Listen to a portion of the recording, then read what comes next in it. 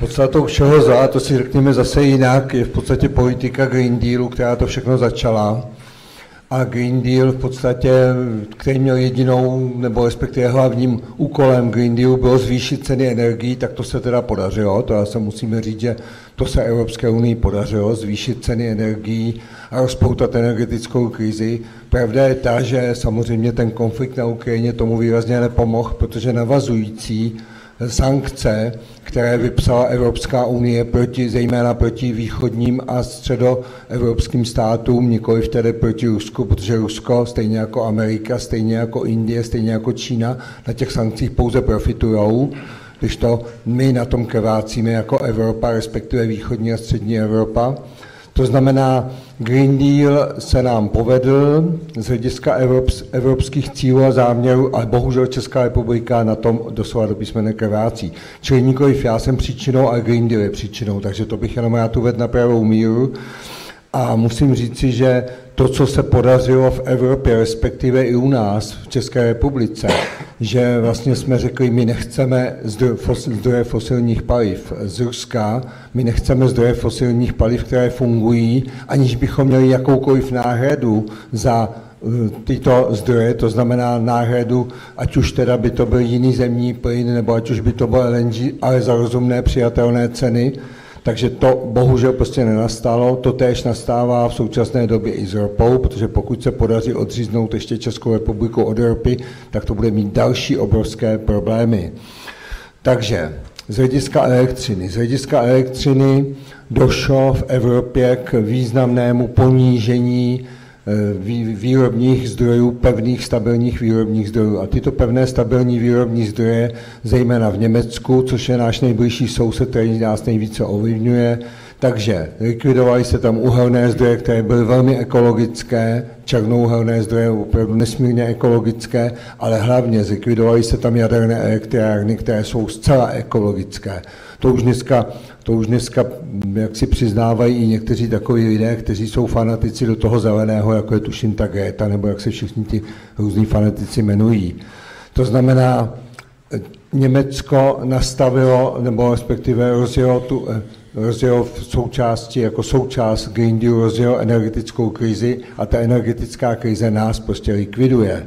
A pokud se nepodaří, že by se Česká republika, a to je v podstatě naším cílem, protože my si myslíme, že ta naše skupina, ten náš spolek, Národní rada obrody, v podstatě obnovy, musí, musí zachránit Českou republiku. Pokud se nám nepodaří zachránit energetiku jako takovou, pak budeme opravdu v obrovských problémech. To znamená, v elektřině musíme opustit systém povolenek, o kterém se ví, že v roce 2030 95% všech povolenek evropských budou platit pouze tři státy, Česká republika bude jeden z nich.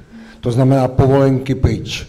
Mimochodem, tam vidím, že jeden kolega eh, zvednul obočí, ono je to ještě horší. Na západě jsou, existují studie, můžeme doložit, které říkají, že v České republice, zejména v České republice a v těch dalších dvou státech, se zvednou ceny elektřiny výrazně oproti tomu, že dneska jsme laciní. Pozor, oni říkají, že dneska jsme laciní. A my jsme dneska, jak říkal kolega Štěpán, my jsme dneska zcela na špici z hlediska ceny z hlediska ceny elektřiny my jsme opravdu předběhli i Velkou Británii. Všechny, všechny státy EU a Velkou Británii k tomu. Přitom máme nejnižší náklady na výrobu. Takže my se musíme zbavit povolenek. Musíme zajistit udržení těch stávajících stabilních zdrojů, aby to znamená, aby Čes nelikvidoval nebo neprodával svoje stabilní zdroje, protože to nám způsobuje problémy a bude způsobovat problémy, pokud tohle to připustíme. Jo? Dneska Čes chystá velkou plynovku v Mělníku. Proč ji tam chystá? Na co ji tam chystá?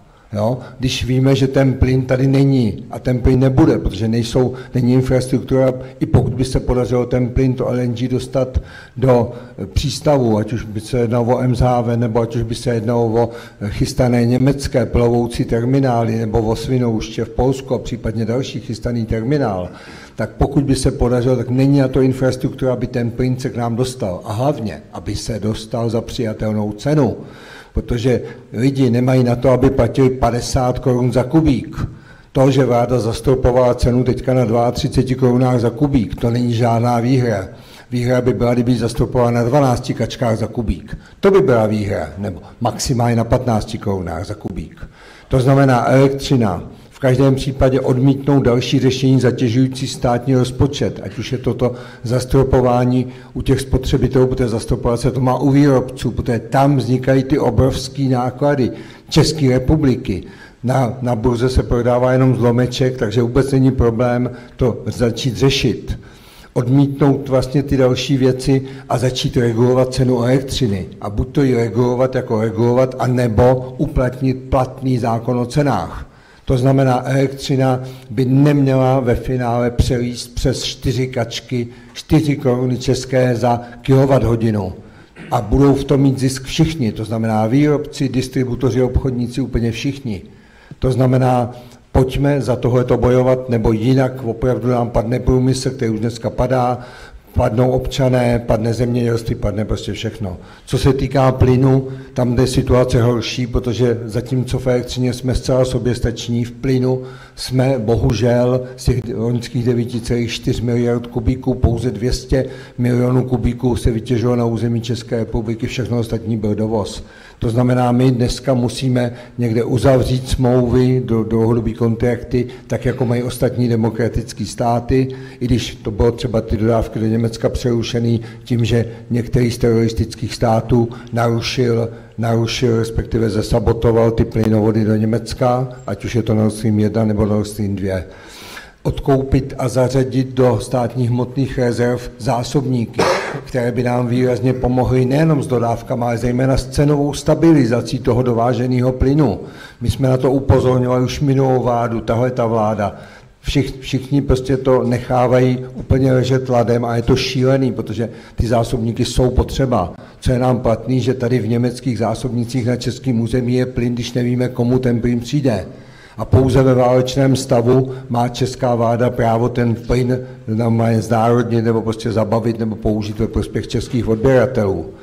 A hlavně je potřeba opravdu začít ten plyn řádně kupovat a tak, aby koncová cena plynu nepřelezla přes nějakých 12-15 korun za kubík, protože to je cena odpovídající. A bez toho prostě ta Česká republika nemá moc šanci na úspěch.